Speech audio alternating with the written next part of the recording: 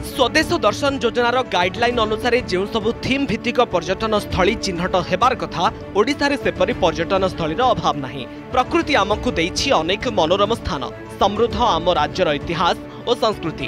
ତେବେ ନିୟମ ଅନୁସାରେ ରାଜ୍ୟ ସରକାର ପ୍ରାଥମିକ ଭାବରେ ପର୍ଯ୍ୟଟନ ସ୍ଥଳୀ ଚିହ୍ନଟ କରି କେନ୍ଦ୍ରକୁ ପ୍ରସ୍ତାବ ଦେବା କଥା। ମାତ୍ର ରାଜ୍ୟ ସରକାର ତାହା କରୁନଥିବାରୁ ରାଜ୍ୟର ଅନେକ ପର୍ଯ୍ୟଟନ ସ୍ଥଳୀ ଏହି ଯୋଜନାରୁ ବଞ୍ଚିତ ହୋଇଛି। ନରନ୍ଦା ପୀଠର ମହାତ୍ମାକୁ ଦୃଷ୍ଟି ଆଗରେ ରଖି ସରକାର ତତ୍ପରତା ପ୍ରକାଶ କରନ୍ତୁ ପନ୍ଦର କୋଟି ସମଥିଙ୍ଗ ପଇସା ପାଇଁ ପାଞ୍ଚ କୋଟି ଟଙ୍କାରୁ ଉର୍ଦ୍ଧ୍ୱ ଟଙ୍କା ରିଲିଜ୍ କରିସାରିଲେଣି ତାଙ୍କ ଡିପୋଜିଟ୍ କରିସାରିଲେଣି ତାକୁ ତ୍ୱରାନ୍ୱିତ କରିବା ପାଇଁ ଆମେ ନିବେଦନ କରୁଛୁ ତଥାପି କେନ୍ଦ୍ରମନ୍ତ୍ରୀ ତଥା ଓଡ଼ିଆ ପୁଅ ଧର୍ମେନ୍ଦ୍ର ପ୍ରଧାନଙ୍କ ଆନ୍ତରିକ ପ୍ରଚେଷ୍ଟା ଯୋଗୁଁ ନିକଟରେ ବରଗଡ଼ ଜିଲ୍ଲାର ଦେବ୍ରିଗଡ଼ ଅଭୟାରଣ୍ୟ ଓ ସମ୍ବଲପୁର ଜିଲ୍ଲାର ବୀର ସୁରେନ୍ଦ୍ର ସାଏଙ୍କ ଜନ୍ମଭୂମି ଖିଣ୍ଡା ଗ୍ରାମକୁ ସ୍ୱଦେଶ ଦର୍ଶନ ଯୋଜନାରେ ସାମିଲ କରାଯାଇଛି। ଆମ କେନ୍ଦ୍ରମନ୍ତ୍ରୀ ଧର୍ମେନ୍ଦ୍ର ପ୍ରଧାନ ଯେଉଁ ପତ୍ର ଲେଖିଥିଲେ ସଂସ୍କୃତି ମନ୍ତ୍ରୀଙ୍କ ନିକଟକୁ ଆମର ଡେବ୍ରିଗଡ଼ ଅଭୟାରଣ୍ୟ ଓ ବୀର ସୁରେନ୍ଦ୍ର ସାଏଙ୍କ ଜନ୍ମମାଟି ଖିଣ୍ଡାକୁ ସ୍ୱଦେଶ ଦର୍ଶନ ଯୋଜନାରେ ସାମିଲ କରିବା ପାଇଁ ଯେହେତୁ ସେଇଟା ବର୍ତ୍ତମାନ ସାମିଲ ହୋଇଯାଇଛି ତାହା ଗୋଟେ ଆମ ପାଇଁ ଗୋଟେ ଅତ୍ୟନ୍ତ ଖୁସିର ବିଷୟ। ଯେହେତୁ ଡେବ୍ରିଗଡ଼ ଗୋଟେ ଡେବ୍ରିଗଡ଼ର ଗୋଟେ ବହୁତ ବଡ଼ ଗୋଟେ ଅପରଚ୍ୟୁନିଟି ଅଛି ବିଶ୍ୱସ୍ତରର ଗୋଟେ ପର୍ଯ୍ୟଟନସ୍ଥଳୀ ହେବା ପାଇଁ। ତାହାକି ଏପର୍ଯ୍ୟନ୍ତ ଲୁଚିକି ରହିଥିଲା। ଆଉ ଯେହେତୁ ସ୍ୱଦେଶ ଦର୍ଶନ ଯୋଜନା ସାମିଲ ହେଲା ପରେ ବର୍ତ୍ତମାନ ଡେବ୍ରିଗଡ଼ ଏକ ବିଶ୍ୱସ୍ତରୀୟ ଟୁରିଜିମ୍ ପ୍ୟାଲେସ୍ର ପ୍ଲେସ୍ର ପରିଚୟ ପାଇବ। ଆମର ଏଇ ଦେବୀଗଡ଼ଟା ତ ଆଗରୁ ଅଭୟାରଣ୍ୟ ଥିଲା ବହୁତ ଲୋକ ପର୍ଯ୍ୟଟକମାନେ ଆସୁଥିଲେ ଏରିଆକୁ।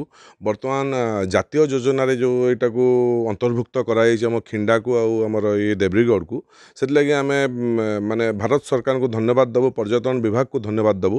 ଆଉ ବିଶେଷ କରି ମୁଁ ଧର୍ମେନ୍ଦ୍ର ପ୍ରଧାନ ମହାଶୟଙ୍କୁ ଧନ୍ୟବାଦ ଦେବି ଏ ମାନେ ଲିଖିତ ଆକାରରେ ସେ ଦେଇଥିଲେ ପର୍ଯ୍ୟଟନ ବିଭାଗ ମନ୍ତ୍ରୀଙ୍କୁ। ଆଉ ସେଇଟାକୁ ଆମେ କାର୍ଯ୍ୟକାରୀ ପର୍ଯ୍ୟଟନ ବିଭାଗ କାର୍ଯ୍ୟକାରୀ କରିଥିବାରୁ ବହୁତ ବହୁତ ଧନ୍ୟବାଦ। ଆମେ ଏଥିରେ ବହୁତ ଉପକୃତ ହେବୁ। କେବଳ ଏତିକି ନୁହେଁ ଓଡ଼ିଶାର ବିଭିନ୍ନ ଜିଲ୍ଲାରେ ରହିଛି ଅନେକ ପ୍ରାକୃତିକ ଓ ସାଂସ୍କୃତିକ ଐତିହ୍ୟ ସମ୍ପନ୍ନ ପର୍ଯ୍ୟଟନ ସ୍ଥଳୀ। ପୁଣି ବୌଦ୍ଧ ଜୈନ ମହିମା ଧର୍ମ ସଂସ୍କୃତି ସହିତ ସମ୍ପୃକ୍ତ ଅନେକ ଐତିହାସିକ ସ୍ଥାନ ମଧ୍ୟ ରହିଛି। ସେଗୁଡ଼ିକୁ ମଧ୍ୟ ଯୋଜନାରେ ସାମିଲ କରିବାର ଆବଶ୍ୟକତା ରହିଛି।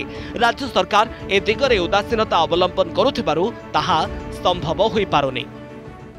ଭାରତ ସରକାର ଭାରତର ଯେଉଁ ପର୍ଯ୍ୟଟନ ସ୍ଥଳ ଗୁଡ଼ିକର ବିକାଶ ପାଇଁ ଅନେକ ପ୍ରୟାସ କରୁଛନ୍ତି ତା ମଧ୍ୟରେ ସ୍ୱଦେଶ ଦର୍ଶନ ଯୋଜନା ଅଛି ଆମେ ଦେଖନ୍ତୁ ସେ ସେ ସ୍କିମ୍ରେ ଗୁଡ଼ାଏ ଫଣ୍ଡ ବିଭିନ୍ନ କେନ୍ଦ୍ର ସରକାର ରାଜ୍ୟ ସରକାରଙ୍କୁ ଦେଉଛନ୍ତି ସେ ମଧ୍ୟରୁ ଓଡ଼ିଶା ସରକାର ମଧ୍ୟ ସେ ଆର୍ଥିକ ଲାଭବାନ ହେଉଛନ୍ତି କିନ୍ତୁ ସେ ଯେଉଁ ଫଣ୍ଡ ଆସୁଛି ବା ଯେଉଁ ଆଲଟମେଣ୍ଟ ହେଉଛି ରାଜ୍ୟ ସରକାରଙ୍କୁ ସେଗୁଡ଼ିକର ସିଏ ଯେଉଁ ପର୍ଯ୍ୟଟନ ସ୍ଥଳ ଗୁଡ଼ିକରେ ବିକାଶ କରିବା କଥା ସେଗୁଡ଼ିକର ସେମାନେ ବିକାଶ କରୁନାହାନ୍ତି। ସ୍ୱଦେଶୀ ଗଠନ ଯୋଜନା ଯେଉଁ ନରେନ୍ଦ୍ର ମୋଦି କରିଛନ୍ତି ଓଡ଼ିଶାରେ ଯେତେ ପର୍ଯ୍ୟଟନ ସ୍ଥଳୀ ଅଛି ତାକୁ ଯଦି ଆମ ଓଡ଼ିଶା ଗଭର୍ଣ୍ଣମେଣ୍ଟ ଆଉ ଟିକେ ଯେଉଁ ପଇସା ଗୁଡ଼ା ଆସୁଛି ଆଉ ଟିକେ ଯଦି ଓଡ଼ିଶା ଗଭର୍ଣ୍ଣମେଣ୍ଟ ତାକୁ ତନିଖି ଭାଗରେ ଆଉ ଟିକେ କରନ୍ତେ ଅତି ସୁନ୍ଦର ହୁଅନ୍ତା।